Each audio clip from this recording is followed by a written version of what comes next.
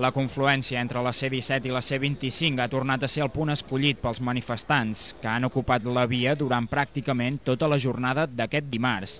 El grup de protestants ha anat guanyant adeptes al llarg del dia fins a arribar al mig miler de persones, dels quals la majoria eren estudiants. Agents dels Mossos d'Esquadra han demanat als manifestants que abandonessin la via pel seu propi peu, però els joves no han acceptat la proposta i la tensió ha anat creixent a mesura que passaven els minuts.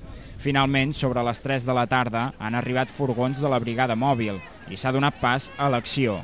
Els agents han començat a mobilitzar-se i els protestants han sortit de la calçada abans inclús de les càrregues policials.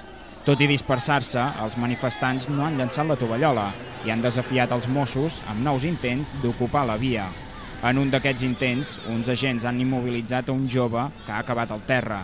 Finalment, però, no ha estat detingut. Amb els protestants dissipats pel polígon, s'ha pogut reobrir la circulació en dos sentits de la marxa. Aquesta, però, ha durat uns 15 minuts. Els agents de la brigada mòbil han abandonat la zona i els protestants han tingut via lliure per tallar de nou la C-17 i la C-25.